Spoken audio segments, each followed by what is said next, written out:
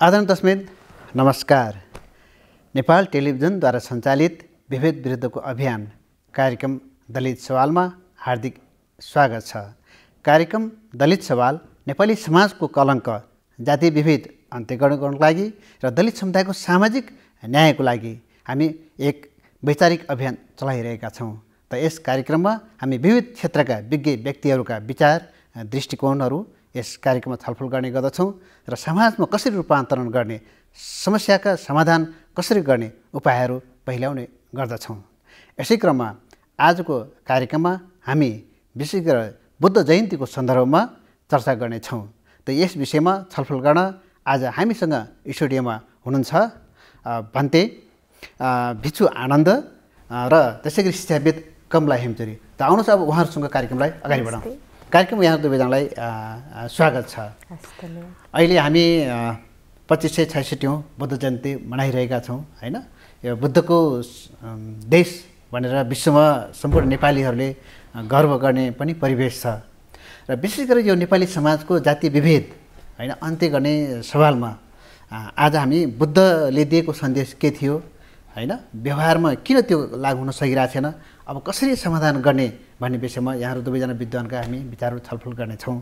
र बुद्धले भनेको एउटा स्लोगनबाट म सुरु गर्छु उहाँले भन्नुभएको थियो जात नसोधा आचरण सोध भनेर बुद्धको एउटा मुख्य उपदेश भएको पनि हामी चर्चामा पाउँछौँ। भन्ते भिचु आनन्दज्यू होइन? यहाँ अब संविधान सभाको सदस्य पनि हुनुहुन्छ। र यो बुद्ध स्टडीको सवालमा पूर्व प्राध्यापक पनि यहाँले अध्ययन गरिराख्नु भएको छ। वास्तवमा बुद्धको शिक्षामा अथवा बौद्ध दर्शनमा विशेष गरी यो जातीय विभेद अन्त्यको लागि के लेखिएको छ के प्रावधान छ? हजारौँ वर्षदेखिको एउटा अन्धविश्वास भनौँ अथवा चाहिँ सामाजिक मूल्य मान्यता भनौँ अथवा चाहिँ धार्मिक अन्धविश्वास अथवा धार्मिक मूल्य मान्यता भनौँ त्यसको यो अभ्यासको क्रममा चाहिँ यो जातीय विभेद छुवाछुटको चाहिँ प्रथा अथवा अभ्यास आजसम्म पनि कायम भएको देखिन्छ। एक्काइसौँ शताब्दीको वैज्ञानिक युग भनिन्छ यो इन्फर्मेसन टेक्नोलोजी युग भनिन्छ होइन? यस्तो अवस्थामा पनि यो दलित अथवा छुवाछुत अथवा नछु छुन नहुने भन्ने जुन सवाल हो नि त्यो चाहिँ हामीले सकेसम्म कसरी त्यो विषयलाई चाहिँ हामी समाधान गर्नुपर्छ?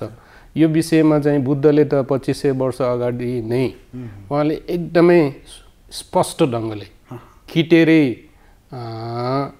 भन्नुभएको छ कि मानिसको जन्म नै स्वतन्त्र र स्वाधीन रूपमा हुन्छ भने त्यहाँनिर कहाँनिर जातीय विभेद हुन्छ? मानिसको मूल्य र मान्यता भनेको उसको पहिचान भनेको उसको व्यवहार हो। उसको योग्यता र क्षमता हो होइन? र व्यवहार योग्यता क्षमता अनुसार कुनै पनि मानिस अथवा कुनै पनि व्यक्तिलाई चाहिँ उच नित अथवा श्रेष्ठ उत्तम हीन अथवा चाहिँ त्योमा त्यो व्यक्ति चाहिँ नराम्रो भन्ने रूप भन्ने सवालमा चाहिँ उहाँले एउटा परिभाषा दिनुभएको छ। त्यही भएर जन्मको आधारमा जातीय विभेद होइन कि? होइन? मानिसको योग्यता र क्षमता होइन? योग्यता र क्षमता अनुसार चाहिँ यदि त्यो निज कुलमा अथवा अछुट कुलमा जन्मे पनि उच्च कुलीन मानिसहरूले त्यो प्राप्त गर्न नसक्ने विभिन्न किसिमको चाहिँ भनौँ न मुक्ति भयो होइन? विकास भयो प्रगति त्यो चाहिँ लिन सकिन्छ भने उहाँले भन्नुभएको छ। कमला यहाँले पनि अब बुद्ध दर्शन सम्बन्धी थेरवादको बारेमा अध्ययन गरिराख्नु भएको के भन्नुभएको छ? बुद्धले यो जात व्यवस्था अन्त्य गर्ने सवालमा के भन्नुभएको छ? हजुर मान्छे कहिले पनि जन्मले उच वा निच हुँदैन। होइन? ऊ जहिले पनि कर्मले उच वा निच हुन्छ। उहाँले भन्नुभएको छ जन्म जचना होती बसोलो जन जचाना होती ब्राह्मण कुम्बुना होती बसोलो कम्बुना होती ब्राह्मण भनेर उहाँले बाली भाषामा भन्नुभएको छ। त्यो भन्नुको मतलब के भन्दाखेरि जन्मले कोही पनि निच अथवा जन्मले कोही पनि ब्राह्मण हुँदैन। कर्मले नै ऊ निच अथवा कर्मले नै ब्राह्मण हुन्छ भनेर उहाँले भन्नुभएको छ। मातङ्ग भन्ने एउटा चण्डाल होइन? को उदाहरण दिएर उहाँले के भन्नुभएको छ भन्दाखेरि चा एउटा चाण्डाल माताङ्ग पनि उसले निर्वाण प्राप्त गरेर चाहिँ उसलाई उसको अगाडि त्यो बेलाका ठुलाभन्दा ठुला महान महाराजाहरूसम्म समय पनि उसको उस- उसमा चाहिँ पाउमा आएर झुकेको अवस्था छ भनेपछि जन्मले कोही पनि निच हुँदैन भनेर चाहिँ बुद्धले भन्नुभएको छ। यदि यसो हो भने होइन अहिले विश्वमा बुद्ध नेपालमा जन्मेका हुन् भनेर सम्पूर्ण नेपालीहरूले गर्व गर्ने परिवेश छ। तर बुद्धले दिएको उपदेश किन आत्मसात गर्न गइरहेछन्? अथवा बुद्धको त्यस्तो राम्रो उपदेशहरू समाजमा म, आम मान्छेमा किन गइरहेछन्? के लाग्छ अब? पहिले भन्दा त अलि एक प्रकारको सङ्ख्यात्मक वृद्धि पनि छ अलि चेतनाको स्तर पनि देखिन्छ। तर तपाईँले भने जस्तो समष्टिगत रूपमा सम्पूर्ण नेपालमा पूर्व मेचीदेखि पश्चिम महाकाली जिल्ला जिल्ला गाउँ गाउँ होइन दुर्गम क्षेत्रमा अथवा समष्टिगत रूपमा चाहिँ त्यो हुनुपर्ने चेतना विकास र बुद्ध धर्मको विकास भएको अथवा विशेष गरिकन यो जातीय छुवाछुत विभेद अन्त्य गर्नुको लागि बुद्ध बौद्धहरूले बुद्ध धर्मको शिक्षालाई बुद्धको जुन शिक्षा हो उहाँको अनुशासन हो गाइडलाइन्स हो त्यो चाहिँ गाउँ गाउँमा घर घरमा पुर्याउन कतिको सफल भएको छ त्यो मूल्याङ्कन गर्नु बाँकी छ। प्राय चाहिँ मेरो मूल्याङ्कनमा काठमाडौँमा केन्द्रित भएको जस्तो देखिन्छ। तर पनि अहिले आएर जिल्ला जिल्लामा पनि बिहारहरूको निर्माण भइसकेको छ। भिक्षु भन्तेहरू पनि नयाँ नयाँ बनेर चाहिँ जिल्ला स्तरमा प्रचार प्रसार गरिरहेको छ। त्यो पनि अब धर्मको हिसाबले मात्रै देखिन्छ। यो विशेष यो दलित सवाल जातीय विभेद अन्त्य गर्नुको लागि कति हदसम्म उहाँले त्यो अभ्यास गरिरहेको छ त्यो पनि हामीले खोज्न बाँकी छ। तर मेरो विचारमा चाहिँ जब कुनै पनि भन्ते भिक्षुजीले एउटा प्रवचन दिनुहुन्छ त्यो प्रवचनमा त्यहाँ कम्ती कम्तीमा तिस चालिस पचास सय दुई सय चार सय पाँच सय श्रोतावर्ग हुन्छ। त्यही विषयमा मैले एउटा जातिभेदको विषयमा मैले प्रवचन गरेँ भने म एउटा प्रवचकको त्यो प्रवचनले गर्दा त्यहाँ पाँच सय अथवा कतिजना सङ्ख्यात्मक छ। कमसेकम उहाँले त बुझ्नुहुन्छ। उहाँहरूले एउटा चेतनामा ओहो बुद्ध धर्ममा त यो समानात्मताको कुरा। जातीय छुवाछुटको उच्नु छैन रहेछ। होइन? नजच्चा वस्लो होटी नजच्चा होटी ब्राह्मण हो। कम्बना वस्लो होटी कम होटी ब्राह्मण भनेपछि जातको आधारमा भन्दा पनि मानिसको सोच व्यवहारको आधारमा अथवा उस यदि उसको चारित्रिक शुद्धता अब जस्तो दलित कुलमा जन्मे पनि त्यो मान्छे पाप त्यो मान्छे धार्मिक त्यो मान्छे चाहिँ भलादमी असल नैतिकवान चरित्रवान भयो भने बुद्धले पनि भन्नुभयो त्यो ब्राह्मणभन्दा अथवा उच्च कुलको भन्दा श्रेष्ठ। श्रेष्ठ। उसलाई मान्नुपर्छ पूजा। यदि माथिल्लो जातका भनिनेहरूमा यदि ती कुलमा जन्मेका नागरिकहरू जनताहरू अथवा मानिसहरू भनौँ न। यति दुष्ट छन् अधर्मी छन् पापी छन् दुराचारी छन् चरित्रहीन छन् भने अरूलाई दुःख दिएर चाहिँ उनीहरूले जीविका गर्छन् भने कसरी उनीहरूलाई चाहिँ हामी ठुलो जातको भन्ने? भनेपछि चरित्रको हिसाबले व्यवहारको हिसाबले सोचाइको हिसाबले बौद्धिक स्तर र उनीहरूको आचरण र व्यवहारको हिसाबले चाहिँ हामीले गर्नु। यो सन्देश चाहिँ हाम्रोले हामीले गाउँ गाउँमा समाजमा चाहिँ यो हामीले पुर्याउनु जरुरी छ। जस्तो हाम्रो नेपालको इतिहास हेर्ने भने विशेष गरी लिच्छिवीकाल र मल्लकालको पनि पूर्वार्धसम्म चाहिँ नै बुद्ध धर्मको नेपालमा राम्रो प्रचार प्रसार भएको अथवा नेपाल स्वर्णिम होइन सबै नेपाली सुखी भएको भन्ने इतिहास देखिन्छ। पछिल्लो चरणमा के पाउनु त लिच्छवी कालदेखि मल्लकालको मध्य मध्य भाग मध्य मल्ल आउनुभन्दा अगाडि। सम्म। यहाँ बुद्ध धर्म राम्ररी फस्टाएको फ्लरिस भएको देखिन्छ राम्ररी विकास भएको देखिन्छ समाजमा र राज्यको अनुग्रह पनि पाएको थियो। स्टेट सपोर्ट चाहिँ पर्याप्त पाएको थियो। जस्तो लिच्छवीमा वर्षदेव अंशु वर्मा होइन?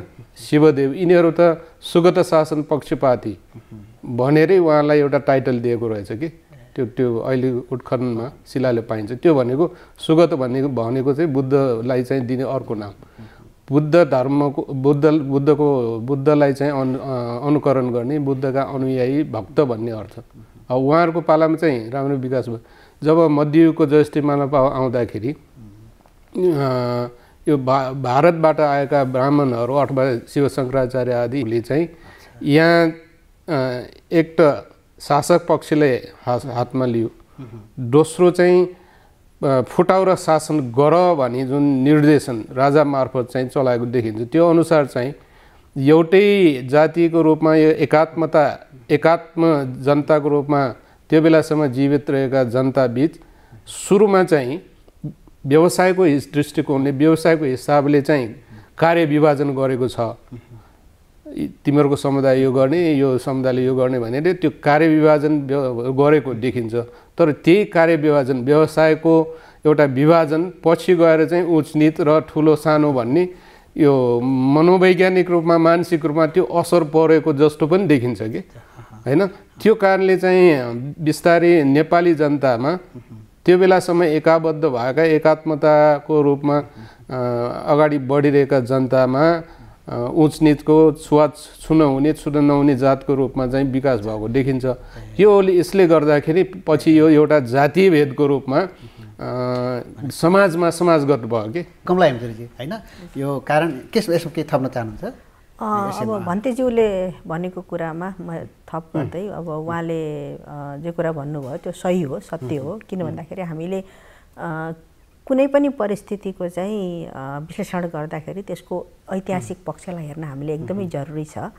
र नेपालको सन्दर्भमा अब लिच्छिवी काललाई हेर्दा के देखिन्छ भन्दाखेरि लिच्छिवीहरू अ, बुद्धको समयकालमै उनीहरू चाहिँ बुद्ध धर्मबाट प्रभावित भएको कारणले गर्दाखेरि उनीहरू भारतबाट भारतमा चाहिँ अब मगधले वैशालीमा आक्रमण गरिसकेपछि जब उनीहरू नेपाल चाहिँ पलायन भए त्यो बेलामा सँगसँगै अब बुद्ध दर्शनलाई पनि उनीहरूले सँगसँगै चाहिँ यहाँ लिएर आएका थिए।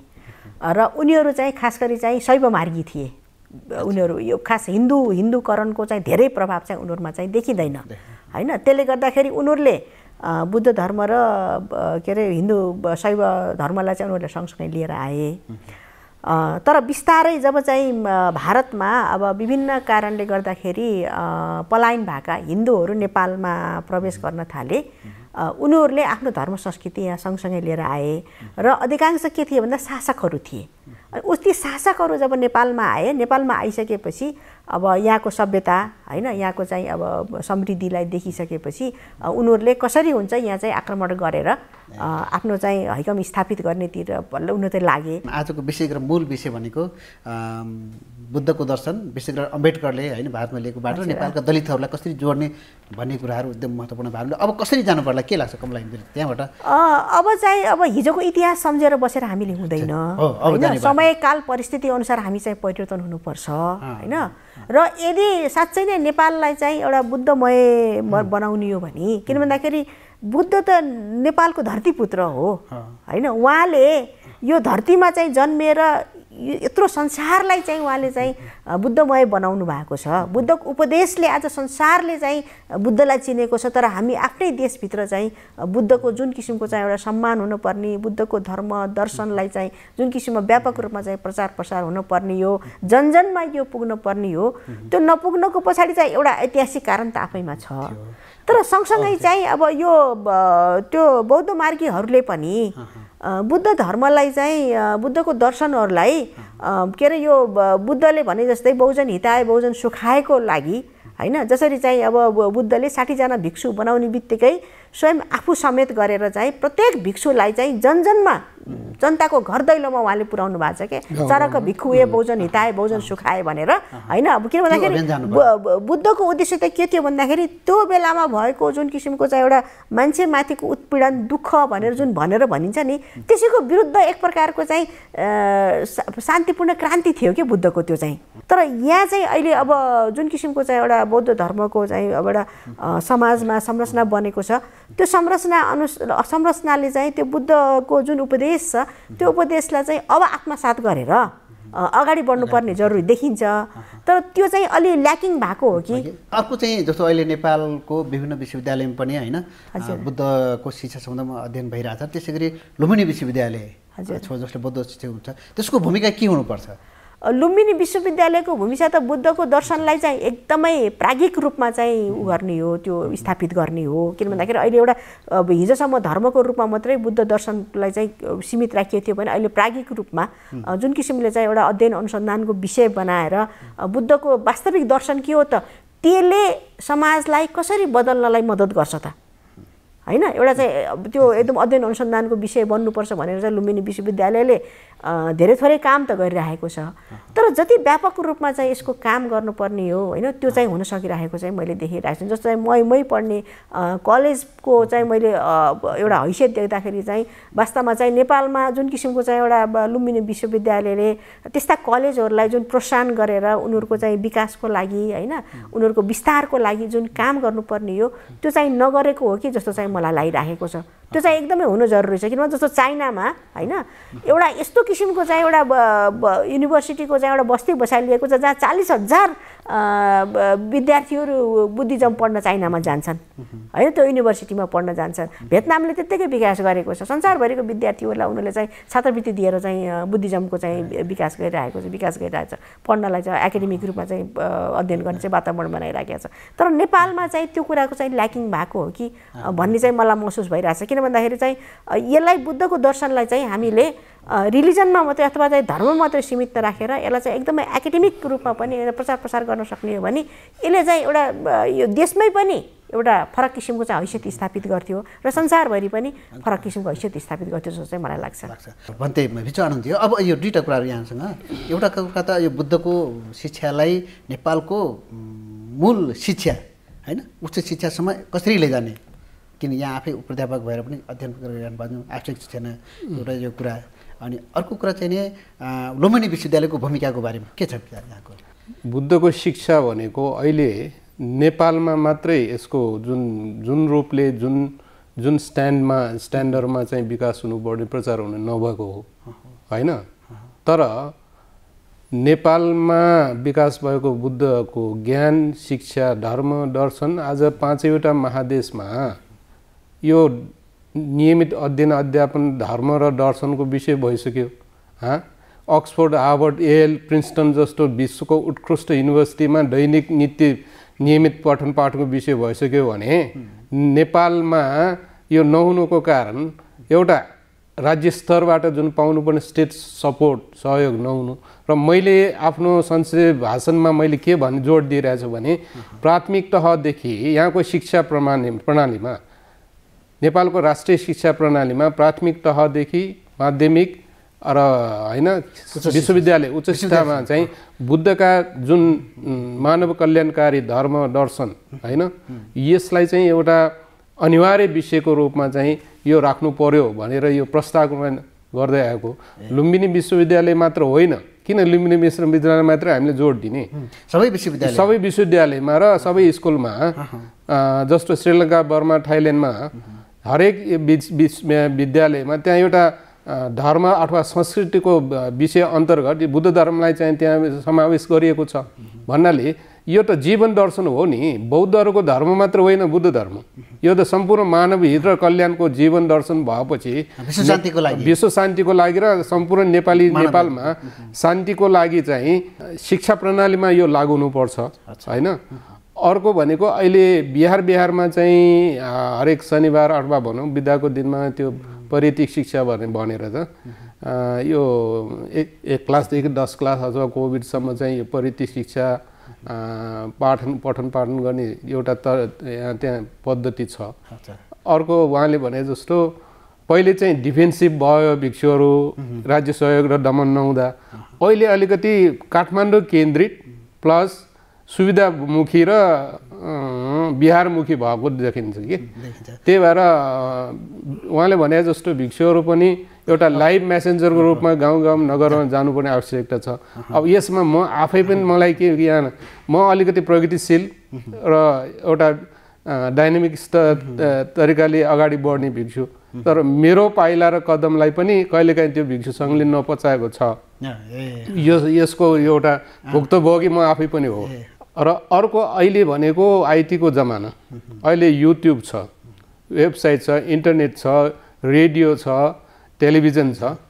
टेलि यी साधन मार्फत यी सुविधा मार्फत पनि हामीले बुद्धका शिक्षाहरू र यो विशेष गरेर आजको जुन हाम्रो विषय हो यो छुवाछुतको अन्त्य कसरी गर्नुपर्छ भनेर यसलाई एउटा विशेष बहसको रूपमा चाहिँ यो फा खण्ड खण्डमा बुद्धका जति पनि उपदेशहरू छन् ती विषयलाई खेलाएर हामीले छलफल गर्न सकिन्छ। थप अ, कसरी जान आवश्यक छ राज्यले र यहाँ आफै अब के गर्नु त्यो विषयलाई चाहिँ दलित समुदायसँग जोड्नको लागि चाहिँ नि संक्षेपमा बुदागत रूपमा अब राज्य त धेरै प्रगतिशील होला जस्तो चाहिँ मलाई लाग्दैन। तर हामी तर हामी आफै चाहिँ जो अब यो बुद्ध दर्शन बुझेका छौँ र अनि जो स्वयं चाहिँ बौद्ध धर्मावलम्बी भएर हिँडेको छ र अनि त्यसपछि अब भिक्षु सङ्घहरू हरू लगायत चाहिँ अब यो अब अखिल नेपाल भिक्षु महासङ्घ छ होइन। अनि त्यसपछि चाहिँ अब यो धर्मोदय सभाहरू छ होइन।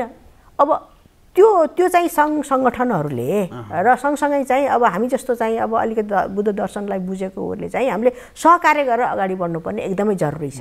विभेद अन्त्य गर्नु किनभने बौद्ध भिक्षु भएर पनि विभेद भएको घटनाहरू आइरहेछन् भन्दाखेरि बुद्ध कसरी छिटो नेपाली विभेद त्यही हो। के अरे यो बौद्ध भिक्षु भएर पनि विभेद हुनुको मूल कारण चाहिँ हिन्दूकरण नै हो नि त। साक्य वज्राचार्यहरू चाहिँ अब बढी चाहिँ यो बुद्ध धर्मको चाहिँ अब नेतृत्व गरेर हिँडेको अवस्था छ। र त्यो साक्य वज्राचार्यहरू चाहिँ अब खास गरी नेपालमा अब अहिले थेरवाद थेरवादीहरू बल्ल बल्ल अलिकति चाहिँ अब मुन चाहिँ जुन मूल बुद्ध दर्शनलाई चाहिँ अनुसरण गरेर हिँड्ने उहाँहरू चाहिँ अलिकति कम छ। र अहिले चाहिँ यो ब- वज्रयानीहरूको चाहिँ बढी प्रभाव भएको कारणले गर्दाखेरि चाहिँ त्यो जातीय विभेद उहाँहरूमा पनि त्यो एक प्रकारले चाहिँ त्यो त्यो त्यो सोचबाट उहाँ बाहिर आउन सक्नु भएको छैन होइन? त्यो कारणले गर्दाखेरि चाहिँ अब त्यो त्यो विभेदलाई अब अहिले भर्खरै तुरुन्तै अन्त्य गर्न सक्ने चाहिँ अवस्था चाहिँ त देखिँदैन होइन? तर हाम्रो प्रयास के हुनुपर्छ भन्दाखेरि साँच्चै नै बुद्ध दर्शनलाई चाहिँ सही अर्थमा चाहिँ बुझेर त्यसलाई चाहिँ सही अर्थमा चाहिँ आम जनतामा बुझाउने हो भने यो विभेदलाई अन्त्य गर्नलाई केही गाह्रो छैन गरिबी पनि। गरिबी होइन किनभने बुद्धको त खालि यो करुणा मात्रै होइन के उहाँको आर्थिक सिद्धान्त छ राजनीतिक सिद्धान्त छ सामाजिक सिद्धान्त छ सबै कुराहरू चाहिँ बुद्ध दर्शनभित्र समेटिएको छ के? होइन? सुशासन कसरी कायम गर्न सकिन्छ? यस्तो चाहिँ अब प्रभावकारी चाहिँ बुद्धको दर्शन छ होइन? कसरी चाहिँ अब यो जातीय यो निच को हो भन्ने कुरा चाहिँ बसलो सूत्र भन्ने छ कि एउटा? त्यो बसलो सूत्रमा चाहिँ यस्तो किसिमले व्याख्या गरिएको छ कि त्यो अब त्यो त्यो पढ्ने बित्तिकै जसले चाहिँ अरूलाई निज भन्छ नि एकपटक ऊ आफू सोच्न बाध्य हुन्छ के? होइन त्यस्तो किसिमको चाहिँ व्याख्या चाहिँ बुद्धको छ। त्यसले गर्दाखेरि पाठ्यक्रममा आउनु पर्यो। आउनु पर्यो। सही सही कुराहरू। चाहिँ बुद्धको दर्शन जे छ होइन बुद्धले दर्शन पनि होइन कि? बुद्धको त खालि उहाँले। जनजनको हितको लागि चाहिँ बहुजनको हितको लागि चाहिँ दिएको भनेर आफूले भन्नुभएको छ। पछिल्लो चरणमा आएर हामीले दर्शन भने हुन त दर्शनै हो त्यो चाहिँ होइन? पछिल्लो चरणमा तर चाहिँ राजनीतिक आर्थिक सामाजिक सांस्कृतिक हरेक कुराहरूको चाहिँ हरेक पाटो र पक्ष चाहिँ त्यहाँ समेटिएको कारणले गर्दाखेरि चाहिँ कुनै पनि क्षेत्रलाई चाहिँ हामीले राम्रो बनाउन चाहन्छौँ। नेपालको चाहिँ गरिबी होइन? ने नेपालको चाहिँ विभेद होइन? महिला सम्बन्धी चाहिँ महिलामाथि हुने विभेद क्षेत्रीय विभेद जातीय विभेद त्यो सम्पूर्ण विभेद अन्त्य गर्नको लागि चाहिँ बुद्धको दर्शन चाहिँ सही मानेमा चाहिँ उपयोगी छ भन्ने पक्षमा चाहिँ म छु। पच्चिस सय छैसठी बुद्ध जयन्तीको सन्दर्भमा यहाँहरू दुवैजनाको एक एक वाक्यमा सन्देश के भन्न चाहन्छु भन्तेजीबाट सुरु गरौँ। दलित जातिलाई चाहिँ हामी- मानव हौँ भन्ने कुरा महसुस गराउनु पर्यो। अँ, त्यो राज्यले होइन? सबै राज्यले र यहाँ समाजले।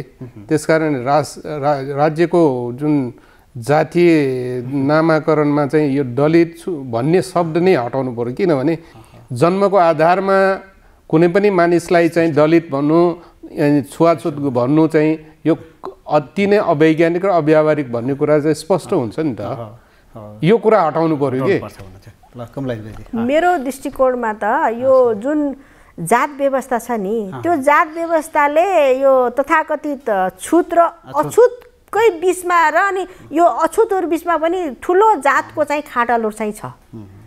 यदि जबसम्म चाहिँ हामीलाई यो जातको मनोविज्ञानबाट हामी बाहिर आउन सक्दैनौँ तबसम्म चाहिँ नेपाली समाज चाहिँ अगाडि बढ्ने अवस्थामा चाहिँ छैन। किन यसको लागि भन्दाखेरि शिक्षाले काम गर्नु होइन जात जातको मनोविज्ञानबाटै बाहिर आउनुपर्छ। यहाँ दमाई कामी पनि भन्नु भएन यहाँ बाहुन छेत्री पनि भन्नु भएन यहाँ नेवार पनि भन्नु भएन केही पनि भएन। जातको आधारमा कुनै पनि खालको चाहिँ विभाजन हुनु भएन। यदि त्यो चाहिँ जबसम्म चाहिँ हामीले त्यो सोचबाट हामी अगाडि आउँदैनौँ। तबसम्म चाहिँ नेपाली समाज चाहिँ अगाडि बढ्न सक्दैन। त्यो कारणले गर्दाखेरि चाहिँ बुद्ध दर्शन भनेको यस्तो दर्शन हो जसले मानवतालाई मात्रै केन्द्रमा राख्छ मान्छेलाई मात्रै केन्द्र राख्छ र यहाँ जात भन्नेको कुनै कुनै किसिमको चाहिँ अस्तित्व चाहिँ छैन। हुन्छ अब आजको हाम्रो कार्यक्रम निर्धारित समय सकिएको छ। यो विषयमा यहाँहरूसँग फेरि पछि पनि हामी छलफल गर्नेछौँ र आजको छलफलको मुख्य निष्कर्ष भनेको नेपाली समाज होइन जात व्यवस्थाका जुन कलङ्कित छ मानिसहरू विभाजित छन् होइन? जुन भ्रष्टाचार छ मान्छे जुन खालको नेपाली समाज अस्तव्यस्त छ त्यसलाई एउटा समृद्ध समाज र सुखी नेपाली बनाउनको लागि बुद्ध दर्शनलाई त्यस नेपालको मूल शिक्षा प्रणालीमा लागू गर्ने आवश्यक छ र यसमा विशेष गरेर चाहिँ बुद्ध दर्शन त्यसका विशेष गरेर चाहिँ हाम्रो भिक्षुहरूको भूमिका अझ महत्त्वपूर्ण छ र विश्वविद्यालयहरूले पनि यो खालको कार्यक्रम अभियान चलाउनु पऱ्यो भन्ने यहाँहरू दुवैजना विद्वानको निष्कर्ष रहेको छ। त आजको कार्यक्रममा आएर आफ्ना महत्त्वपूर्ण विचारहरू राखिदिनु भएकोमा यहाँहरू दुवैजनालाई हार्दिक धन्यवाद दिन चाहन्छु। यो पावन अवसरमा पच्चिस सय बुद्ध जयन्तीको पावन अवसरमा म बुद्धप्रति चाहिँ नमन गर्दै यहाँले पनि जुन अवसर दिनुभयो त्यसको लागि चाहिँ धन्यवाद दिन चाहन्छु। आदरण दशमित आजको हाम्रो छलफल यहाँहरूलाई कस्तो लाग्यो? आफ्नो प्रतिक्रिया अवश्य लेखी पठाउनुहोला। यस कार्यक्रमलाई नेपाल टेलिभिजनको website W W W dot NTV dot ORG dot एनपीमा login गरेर हेर्न सकिन्छ। साथै मोबाइल एप्स र युट्युबमा पनि सर्च गरेर हेर्न सक्नुहुन्छ। त आगामी बुधबार दिनको एक पच्चिस बजे हाम्रो सरकारको अर्को नयाँ विषय लिएर यहाँहरू समक्ष हामी उपस्थित हुनेछौँ। तबसम्मको लागि कार्यक्रम दलित सवालका सम्पूर्ण युनिट यहाँहरूबाट बिदा चाहन्छौँ। नमस्ते।